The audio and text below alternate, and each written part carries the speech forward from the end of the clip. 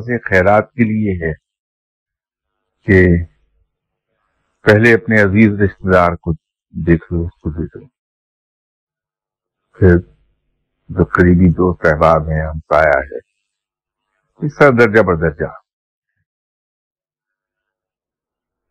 یا خیرات دیتے وقت دیکھ لیجیے ایک مسلمان ہے، دوسرا غیر مسلم ہے۔ تو مسلمان کو پہلے خیرات